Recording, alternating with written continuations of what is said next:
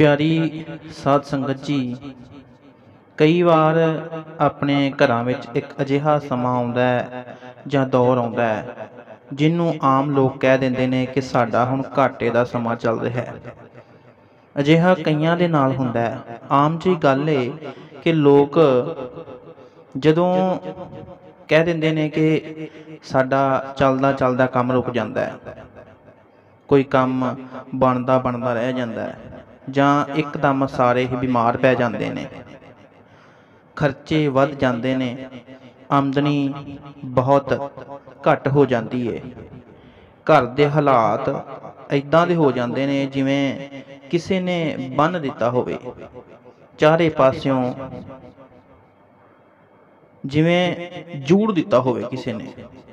ਦਰਅਸਲ ਇਹ ਸਭ ਸਾਡੇ ਆਪਣੇ ਕਾਰਨ ਹੀ ਹੁੰਦਾ ਏ।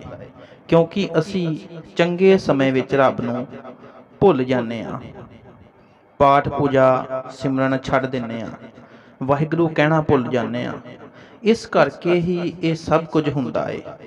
ਸੋ ਇਹ ਸਭ ਕੁਝ ਠੀਕ ਕਰਨ ਲਈ ਆਉਣ ਵਾਲੀ ਪੰਚਮੀ ਨੂੰ ਕੁਝ ਵਸਤਰ ਤੇ ਕਣਕ ਦਾਨ ਕਰੋ ਤੇ 20 ਪਾਠ ਇਸ ਸ਼ਬਦ ਦੇ ਪੂਰੇ ਕਰ ਲਓ ਆਓ ਇਸ ਸ਼ਬਦ ਉੱਤੇ ਸਾਂਝ ਪਾਈਏ।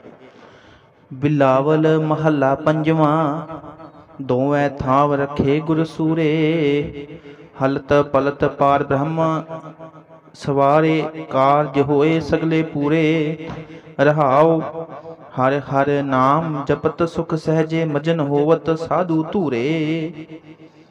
ਆਵਣ ਜਾਣ ਰਹੇ ਥਿਤ ਪਾਈ ਜਨਮ ਮਰਨ ਕੇ ਮਿਟੇ ਬਸੂਰੇ, ਭ੍ਰਮ ਭੈ ਤਰੇ ਛੁਟੇ ਪੈ ਜਮ ਕੇ।